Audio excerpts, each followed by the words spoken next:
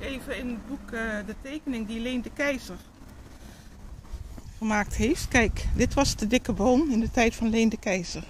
Jaren 80, 1980 rond ongeveer. En hier is uh, het echtpaar de Bruin de Keizer. Mevrouw, uh, is, mevrouw Anne is de zus van Leen de Keizer.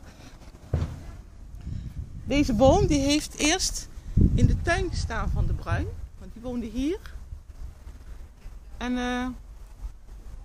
die staat er al vanaf de eerste helft 1800. Hier.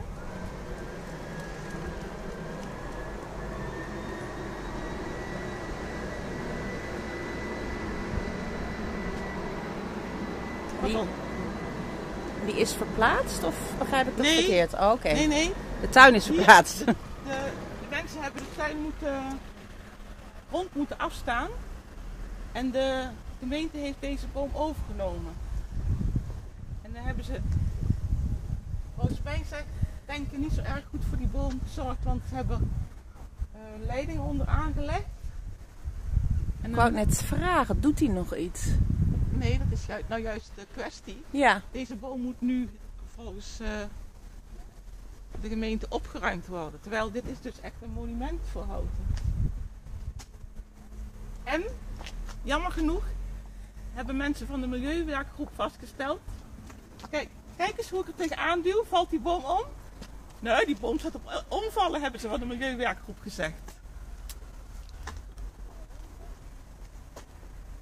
Kijk, is- Monumenten worden, als ze van steen zijn, toch ook gestut, denk ik dan? Of verstevigd? Nou, of... dat is een geweldige gedachte. Ja. Nee, dit moet weg. Dit is een gevaar voor de mensen. Kijk eens hoe gevaarlijk die boom is. Ik me op.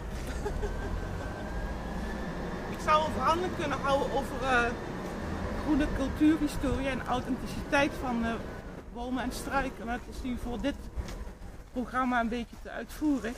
Bert Maas lezen zou ik zeggen. En daar komen we een keertje op terug. En de- je ziet, die boom die doet geen mens iets. Maar als je hier dus.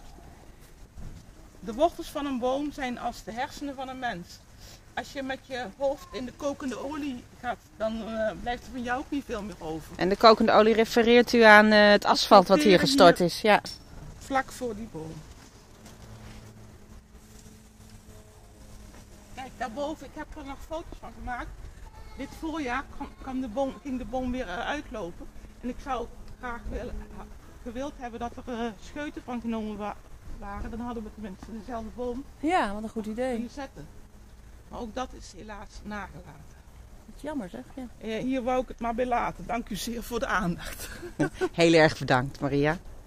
En eh, heel graag tot een volgende keer.